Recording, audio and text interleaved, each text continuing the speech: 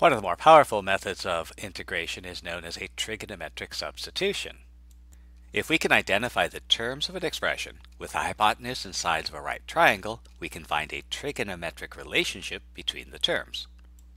For example, let's consider the integral of x squared over x squared plus 4. Now in this particular integrand, this denominator of x squared plus 4 is problematic. So let's see if we can construct a right triangle where this expression x squared plus 4 comes up naturally. The fundamental relationship we have in right triangles is the Pythagorean theorem.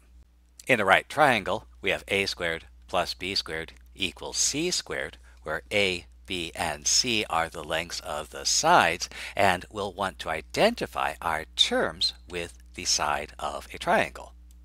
And we might note that x squared is x squared, and 4 is 2 squared, so we'll take a right triangle with sides x and 2. So let's see if we can draw a picture where two sides of a right triangle have lengths of x and 2.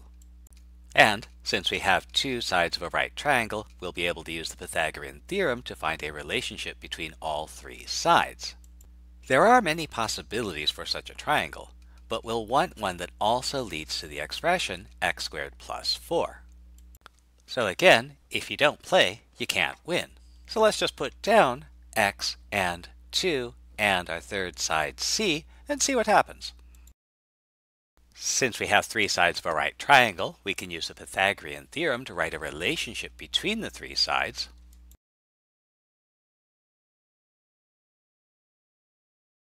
And we see that the expression x squared plus 4 comes up naturally if we make these choices for the sides of our triangle. Since we are interested in a trigonometric substitution, let's go ahead and find the actual lengths of that third side.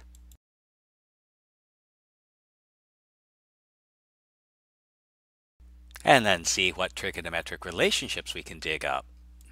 So we do need to designate a particular angle as our theta, so let's use this one. Now we have a right triangle where this expression x squared plus 4 comes up naturally. So let's see if we can use a trigonometric relationship. There are several trigonometric relationships we can use. We could look at the sine of theta, which will be the opposite over the hypotenuse,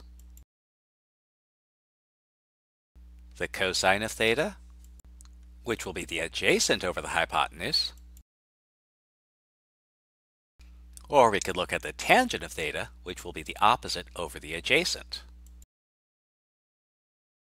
All three of these relationships must hold between x and theta. So we could use any one of these in our next step. We'll start with the simplest one. We'll let tangent of theta equal x over 2. At this point, we're going to do a lot of algebra and a lot of trigonometry and very little calculus. So hold on to your hats, and here we go. If we let tangent of theta be x over 2, then we find x is equal to,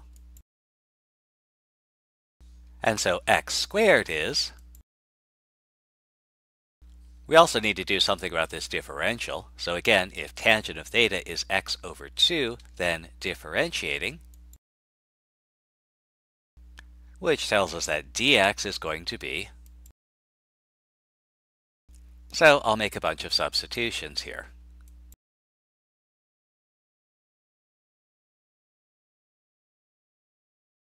Now, this rather horrible mess can be simplified because we have a couple of basic trigonometric identities that we could use. And because we have tangent and secant, we want to use the fundamental trigonometric identity that relates tangent and secant, tangent squared plus 1 equals secant squared. But I don't have tangent squared plus 1. I have 4 tangent squared plus 4. Well, that's okay. We can do a little bit of algebra. And that allows me to simplify the integrand. Now, if I knew what the antiderivative of tangent squared was, we'd be in great shape. Unfortunately, we don't. But we can use our fundamental Pythagorean identity for secant and tangent to rewrite that tangent squared. And that gives us a new integral. And what makes this useful is that secant squared is the derivative of a known function, so we can find the antiderivative. Our last step is putting everything back into place. And because we started with an integral in terms of x, we need to end with an antiderivative in terms of x. Fortunately, we know something about tangent theta. Tangent theta is x over 2. And that means that theta itself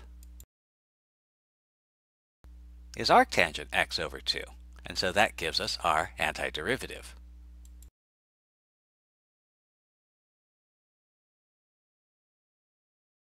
What about integral square root 9 minus x squared? So again, in the expression 9 minus x squared, the terms x squared and 9, which is 3 squared, can be identified with two of the sides of a right triangle. There are many possibilities, but we'll want one that naturally leads to the expression 9 minus x squared. Again, if you don't play, you can't win, so we'll throw down x and 3 and see if we get an expression that we want. So maybe we'll try this. If we use the Pythagorean theorem,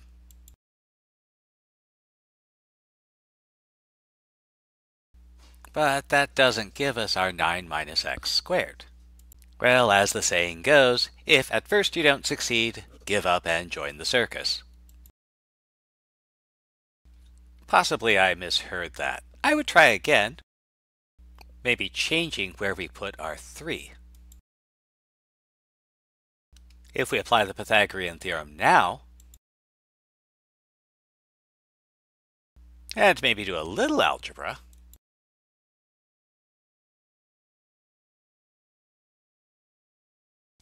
we do get this expression 9 minus x squared.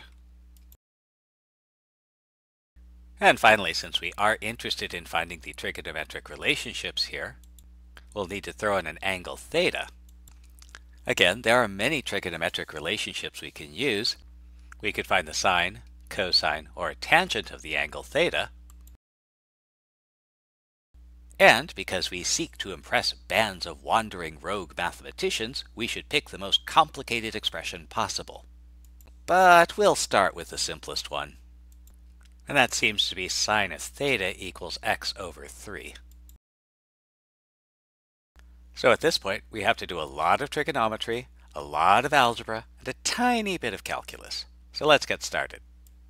From sine theta equals x over 3, we have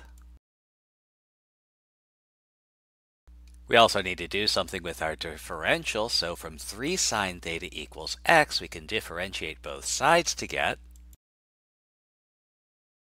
We'll do a bunch of substitutions.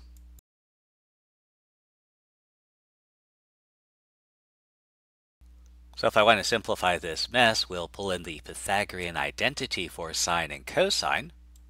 And since I want to say something about 9 sine squared, I'll multiply everything by 9 and do a little algebra. I'll do a little algebra.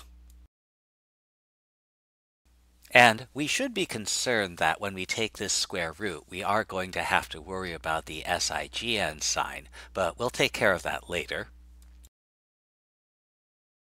We can use another trigonometric identity to reduce this product of cosines. And then finally do some final algebraic cleanup to give us a new integrand.